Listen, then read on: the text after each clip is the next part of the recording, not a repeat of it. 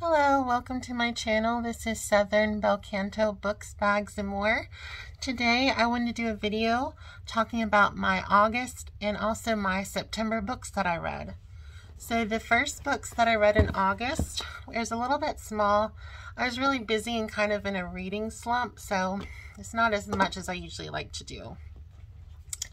So in the month of August, I read the first book in a series by Katharine McGee and this is the American Royals. It was a really cool book. The idea I really liked.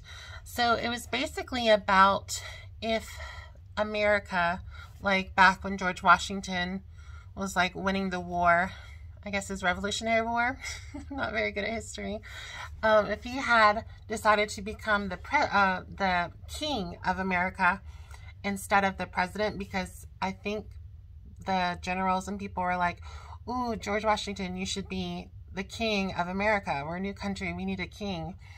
And so he actually, in real life, he decided to become just a president and have a term and whatever. But this book was, what if George Washington had agreed to become the king of America? So these are actually American royals. They are the, like, has a little, like, House of Washington. So, like, the six generations or so of the royal Washington family. So this has the heir, Princess Beatrice Washington, the future Queen of America, the spare, which is her second sibling, so the heir and the spare, which is Princess Samantha. And then they also have a brother, which I think his name was Prince Jefferson. I'm not fully sure. It doesn't say so. It was a cute book. It had a lot of potential. It was fun.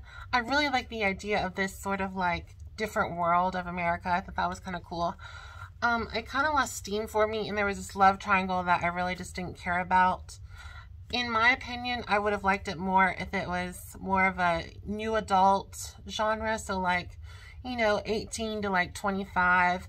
To me, this is more written as a teen book, even though the characters were like around like 17 and a half to like 22. It just read more like a teen book and I was wanting more of a new adult or, you know, adult fiction. Just, it felt a little more teen than I like. But I really did enjoy the story. There is a sequel, I believe it's called Royal Wedding. I'm not fully sure if I'll pick it up just because the book was good, but it wasn't the best. It kind of went away from what I wanted it to be. I don't know. I guess I had a different expectation. If people have read the sequel and it's better or it's, you know, enjoyable, let me know. I might pick it up. So this was American Royals by Katharine McGee. The next book I read in the month of August was Fabulous. Oh, before I jump into my next book, I believe I gave this three stars, three out of five stars on Goodreads. So pretty good.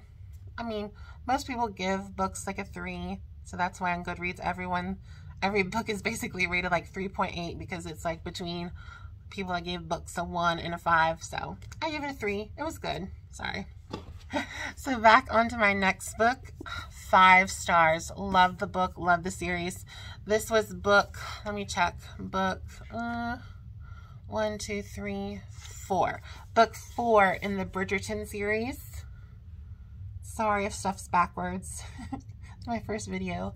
Um, this is Romancing Mr. Bridgerton. Love the title. I love the the cover of the mirror on the bed sheets. There's not a mirror mentioned in the story, but I just like it. It's kind of like that throwback romance novel. And this is the romance between, spoiler alert, if you love Bridgerton, this might have some spoils, but this is the romance between, spoil ahead, Penelope and Colin. They kind of set that up in the series. And I mean, you kind of want it to happen, but it happens. It's the romance between Penelope and Colin. Um, I don't want to give too many spoils because spoilers because I don't like spoilers. But five stars. Penelope is such a great heroine. She's so funny and witty and just so endearing. You want to root for her. She's kind of like the underdog in a way. And it's just fun to see that like ugly duckling or underdog get this fun romance. I really enjoyed it. So this was the romance between Penelope and Colin, absolutely loved it. Loved, I've loved every Bridgerton book. The one I didn't love the most was um, book two, The Viscount Who Loved Me. Great title, good story. I am very excited for season two of the show. Hopefully it comes out in like December. Although I think it said 2022, so hopefully February, like Valentine's Day. But every other book I've given five stars to. So I think The Viscount and Love Me I gave four, but it was it just kind of lost interest. But hopefully I need to reread it or something. But I've loved the Bridgerton books. All right, and the third and final book I read for August. This one I picked up at Walmart. It's uh, actually a reprint. So this is the new um, Matt. I believe they're called the Max Market paperbacks. So here is a Mass Market, is the Julia Quinn Bridgerton. And this is the Max Market. So it's a little bit bigger, which I like. I've been kind of buying them up just because the print's bigger and they're a lot easier to hold. You don't end up bending the spines sorry. This book is by Lynsay Sands, and it's called What She Wants. Um, from, sorry, from the cover, I thought that this was going to be a Western. I don't know why. I just saw, like, the leather shirt, and I completely overlooked that there's a castle behind all that, and this is actually a medieval romance. So it, I think it takes place in, like, 799. is that right no 1199 so super middle ages set in like 1199 to like 1200 something in england um i gave this two stars i did not really like it it it it was a fast read i read it in like two or three days which can be good or bad because sometimes i'm reading it really fast because I really love the book. Sometimes I'm reading really fast because I'm ready to get it over with.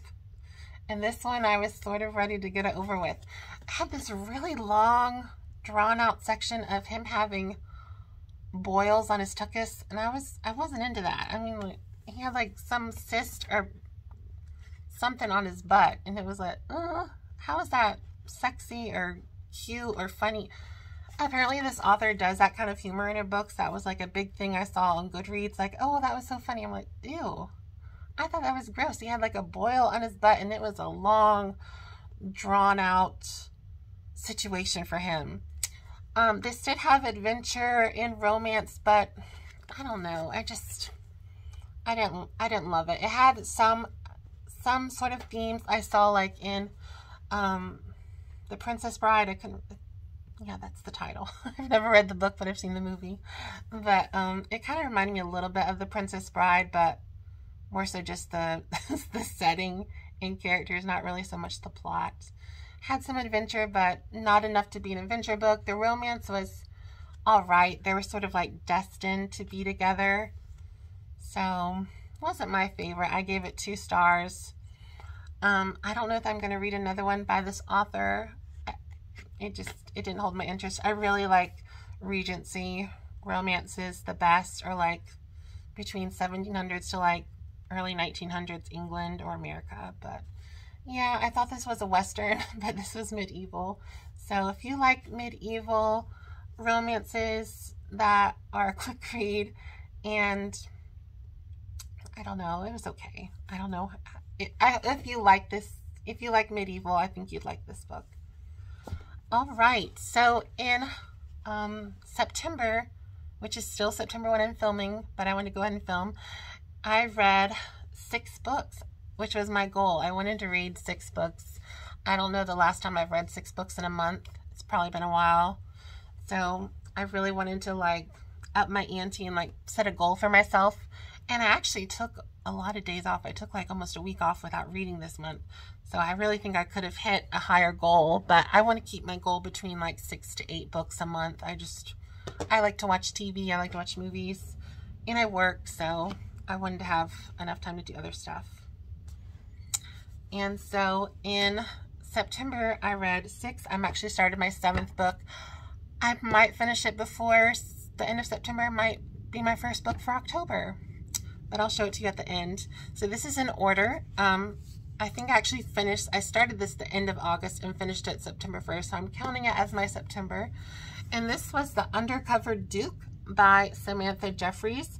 This is another um, romance I picked up from Walmart in the romance section. They get new ones at my Walmart about every week to every two weeks. So I go there and pick out a new one because they're cheaper there, usually cheaper than Amazon.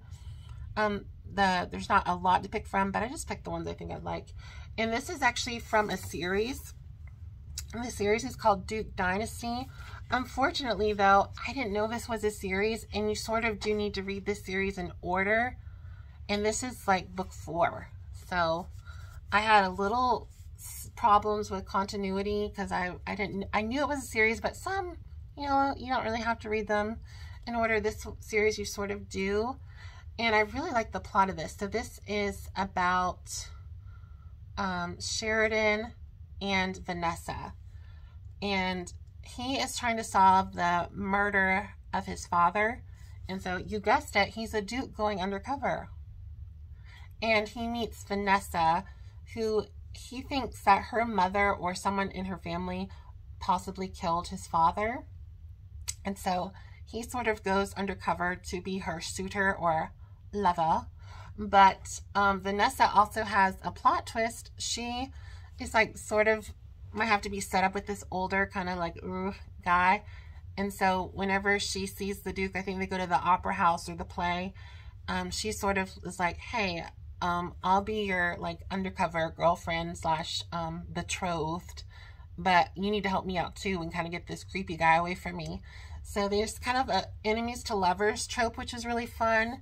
And also just this sort of mystery hidden in the story as well. I gave this book, I believe, four out of five stars, and it was mostly because continuity issues because I didn't know that this was this um, was in a series. I didn't know really what to do with it. So hopefully I get better at, I hopefully I can pick my books a little better because this one was a series and oh, I had some questions. The next book I read in September, I really liked. I gave it five stars. I saw this at Barnes & Nobles actually. And this was Mr. Malcolm's List. This I really enjoyed. Um, to me, it reminded me a lot of a Jane Austen novel. So it was uh, clean, you know, no um, swearing or sex scenes, or I don't really think there were sexual innuendos.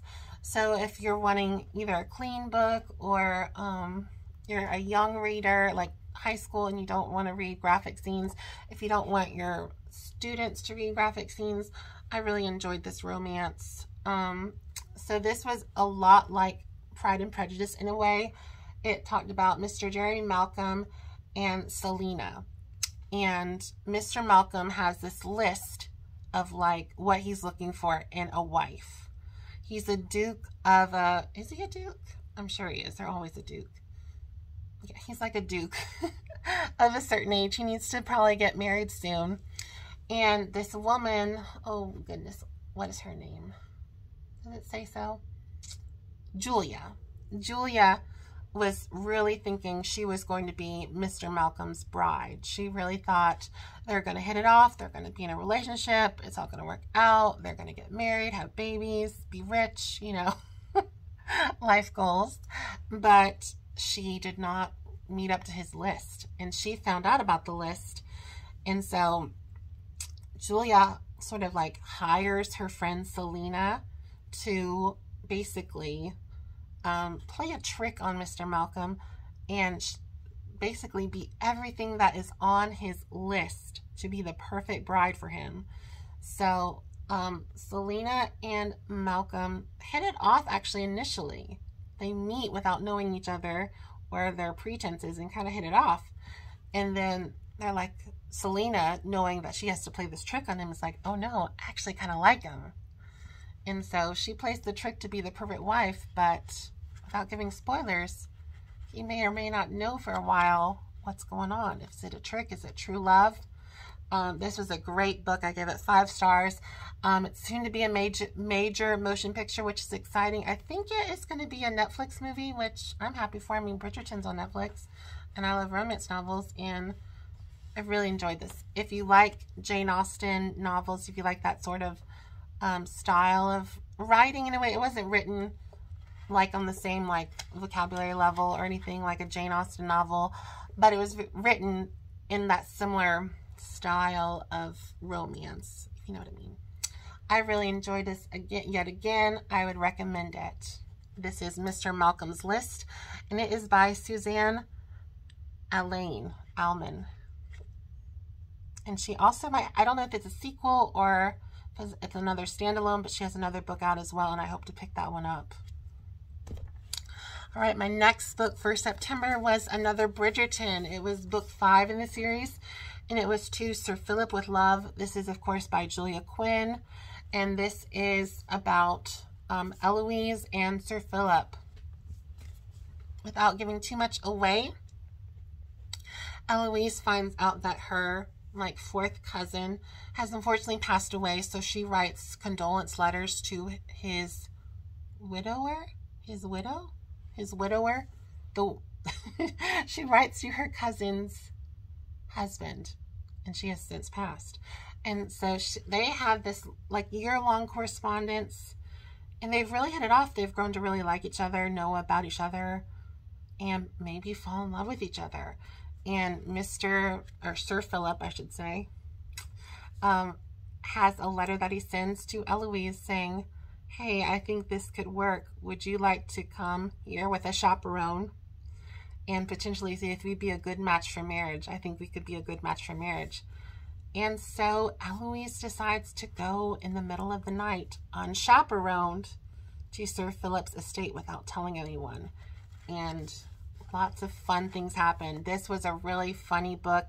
If you like family humor, like um, sibling sibling jokes and um, siblings protecting each other without knowing the full story. This was a fun book. I gave it five stars. I read it in like two days because I couldn't put it down. This was with the earlier one, the What She Wants by Lynsay Sands. I read it fast because I didn't like it. This one I read fast because I couldn't get enough. I loved it. Five stars. Um, book five in the Bridgerton. It's Eloise, who's a fan favorite on the show. She's a great character. She's really similar to her stage presence as she is in the books, which if you like that character from the show, you'll really like this one. Um, one thing to note with the Bridgerton books, you can read the epilogues, but the second epilogues, don't read until you've read the whole series. I made that mistake and read the second epilogue to The Duke and I, the first book, and it gave a lot of spoilers, and that was really, like, annoying. So, if you want to read the epilogue, that's fine. The second epilogue, spoilers galore. So I'm actually going to read all of my second epilogue epilogues after I finish the whole series. Ooh, this was a really good one. I really like this one. This one was The Princess Stakes by Amalie Howard. Wonderful book. Absolutely wonderful. This was another one I gave five stars to. This is about Princess Sorani Rao and the Duke of Embry, uh, I believe his name is Riston. I, in my head, called it Riston. Wonderful book. Um, this was really exciting because um, this is an interracial romance. Um, Princess Sorani is half Pacific Indian, half English. Uh, Riston is a full blue-blooded aristocrat from England. They have known each other, so they're kind of like childhood friends to lovers, but also enemies to lovers. So lots of plot twists, lots of adventure. A good portion of this takes place at sea. Princess Sorani ends up going on this boat because of assassination attempts and potentially she could be murdered because people do not want her to be the queen of of her land. So this was fabulous. I loved this book. I really want more. I want more interracial romance in historical fictions. Oh, I just, I loved it. I believe Amalie Howard has a sequel. I, I'm not fully sure, but I do think that might also be another interracial romance. So I'm excited for that. I believe, I haven't checked, I need to, I need to look. I believe it is a romance between Riston's sister, which she was a good, fun character. And does it show what Rules for Heiresses, I believe is the sequel or the next in the series. This was fabulous though. This is The Princess Stakes by Amalie Howard. Wonderful. Five stars. Excellent. All right, here was another dud. So this was out of all of the books I believe that I've read, this one was also rated a 2 on Goodreads. This is really not my style. This was, um, I picked this up because of um, the YouTuber Books with Samantha. She talked about it in a couple, um, in a couple of her vlogs. It was, I think she used it in her um, reverse harem vlog series. And I don't know, maybe, um, I don't know, bisexual threesome? Something or other. She had it in two of her videos, I'm pretty sure. And she recommends this a lot on her um her Instagram. But this was Learn My Lesson by Katee Roberts. This is my first book by Katee Roberts. This is, I believe, book two in her Wicked Villain series. So this series is about um, retellings of Disney villains. Like, this is, I'm going to be honest, this is Disney erotica, and it's kind of it's kind of funky. So that's, if you're not into erotic literature, if you're not into BDSM, or um, this was um, a lot was bisexual, you're not going to like this book. And um, that was all okay. It's not my favorite. I don't, mm, not my style. I like my historical romances, but I want to give this a try. I like to read different genres of romance. Romance is my favorite. I've read other books similar, like I read the, um, it's by Anne Rice. It's like the the Taming of Sleeping Beauty or something like that. It's like the Sleeping Beauty um, BDSM series. It's it's funky. I don't think I finished it. But this one I, I was more interested in if this was set like in ancient Rome. I like ancient Rome a lot. I enjoyed the show um, Rome on HBO. But this was set um, in present day. And so that's why I really didn't like it. Once I found out this was a present day novel and not written in ancient Rome, or the setting was in ancient Rome, with like the gods and goddesses and all that, um, I wasn't interested. Oh, gods and goddesses. So this is a romance between Hades, god of the underworld, Megara, aka Meg, and Hercules. So if you know the Disney film Hercules, um, this was basically a BDSM bisexual romance between her, uh, Hades, Hercules, and Megara, aka Meg. It had some other um, Disney characters featured as well. It had Aurora and Tinkerbell, which I like Tinkerbell. She was a fun sidekick character. And she's actually the um, the lead for the third book in this series, which is, I want to say it's Hooked. No, A Worthy Opponent. So this is book two in the Wicked Villain series. The first one is between Jasmine and Jafar, which I didn't, I probably, I might read that one. I didn't like this one, but maybe that one's a little different. And um, the third one is Tinkerbell and I believe Hook. And I really liked Tinkerbell in this book. She was a fun character. So I, I might pick up the other two. I give this two stars. It was a lot because, I don't know, just not, I wasn't in like a, well, it's, you know, it's hardcore, so. I'll leave it at that. the next book, um, I gave five stars to. I finished it yesterday. This is one of my favorite series, The Wildes of Winlow, The Wildes of Winlow Castle. This is book five, and this is by Eloisa James. I absolutely love Eloisa James. She's one of my favorite romance authors. She's the first historical romance author I ever read. I randomly checked out, I believe the first book is called Born to be Wild. I got it from the library and loved it. And no, the first book, I'm sorry, is Wild in Love. Wild in Love. They all sort of have Wild in the title or Duke. And this is book five, and it's called Say Yes to the Duke. And this is the story between um, Miss Viola Astley, who is um, basically a Wilde. She, her mother married into the Wildes. Her father, I believe, died. And so she's the step daughter of the Duke and the stepsisters of the Wilde siblings, but she's fully accepted as a Wilde. And she is a wallflower. She is not about that guy life.